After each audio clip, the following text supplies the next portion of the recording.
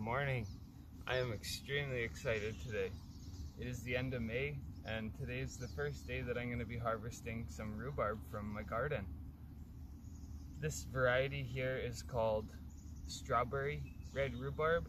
Now a lot of rhubarb have that really bitter taste to them, which is the traditional rhubarb taste.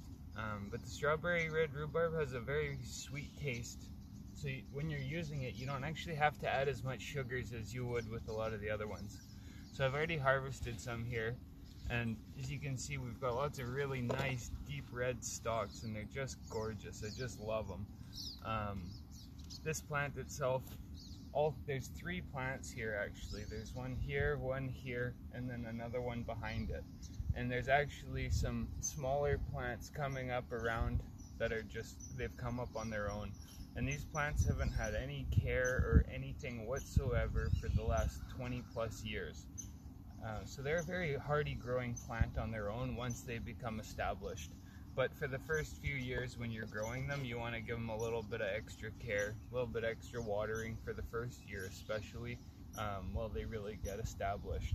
And giving them a higher nitrogen fertilizer in the springtime to promote lots of foliage growth up top and then giving them a higher phosphorus fertilizer in the fall to help build up good roots so that that root system can withstand its first winter outdoors. But after a few years, they really, really get established and you don't have to do much of anything except for come and harvest. So a few things about rhubarb is the leaves themselves are toxic, so you don't want to be eating them they're not toxic to touch at all, but there's a chemical in them that would not agree with us or does not agree with us at all. So you do not want to eat the leaves at all and the roots as well. So what we're actually harvesting from the rhubarb is the stems. So what I do is I reach in and I'll show you guys when I, what, how I do it. So this plant, it's come up, it's one of the, it's the very first plant up in the springtime. Like these leaves are poking up through the ground while there's still snow on the other side of the yard. So they're just amazingly resilient and they come up real early. So rhubarb itself is actually a vegetable, but because of its um, properties, because of the way that it is, many people think of it more as a fruit like and use it for jams and baking and a lot of things like that. Uh, I really love it in like a strawberry rhubarb pie. That's what my mom has always made and I just love it so much. But another thing that I really like it done with is you reduce it down. So you put it into a pot with some sugar, not much sugar, just like a couple of tablespoons and a tiny bit of water and you boil it down for 20 minutes or half an hour into a reduction and then it becomes like a nice super sweet sauce for putting on ice cream or eating just like that or however you want and it's just amazing. So that's what I'm going to be doing with mine here today and I'm also going to be sharing a lot of it because it's so abundant. Like I've, I've taken a good amount in this tote here. Hi Opie. Got a good amount in this tote and it hasn't even put a dent in the plants. Hi sweetie. This is Opie coming in. She loves the garden. Hey, come on. Come here, girl. Sit. You can sit. You out here. Good girl. All right. So when I go to harvest the leaf or the pieces that I want, I don't want to go for the biggest, fattest ones, and I don't want to go for the tiniest ones either. So finding a nice medium-sized one is perfect. So if you look right here, this is a nice, perfect size. It's come out, it's got a nice deep red stem on it. So I go down to as low as I want to take it, which is about an inch or so above the point where it comes out of the ground. And I take my knife and I just make a clean cut. It's very easy, very, very easy to cut.